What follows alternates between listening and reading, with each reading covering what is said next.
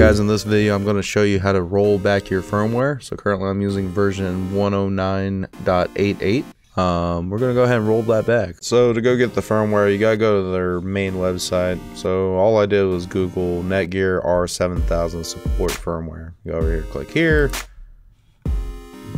Go ahead, download. Go show us here.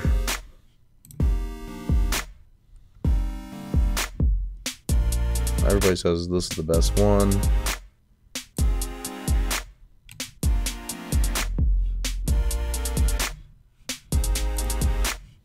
Go ahead and download that. Once it's downloaded, we want to say show in folder. Extract this bad boy. We're going to say extract all.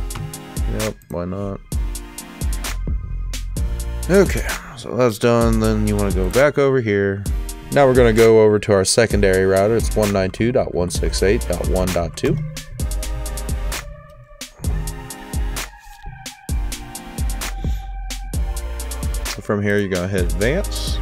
You're going to go to administration, router update. Alright, so from here, we're going to go ahead and hit browse. We're going to go over here, hit downloads and then from downloads we're going to go ahead and hit the folder we extracted and then click that to say upload. So hit ok yep that's fine. We're going to hit yes.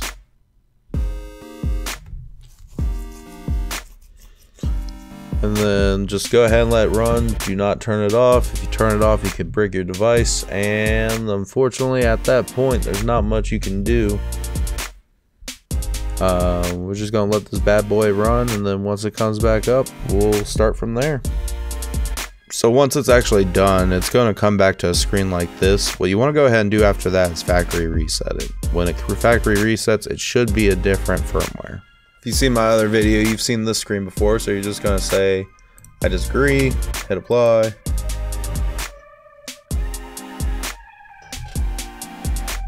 Same process, we're gonna go ahead and configure it just real quick. Okay, so now we're gonna go ahead and click no, hit next. Go ahead and fill these out, just like last time. So once you hit next, you're gonna go ahead and get this screen, similar to what we had earlier.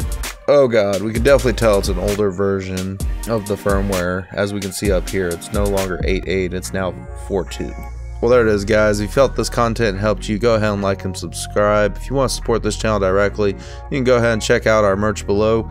As always, my friends, meme on, my friends, meme on.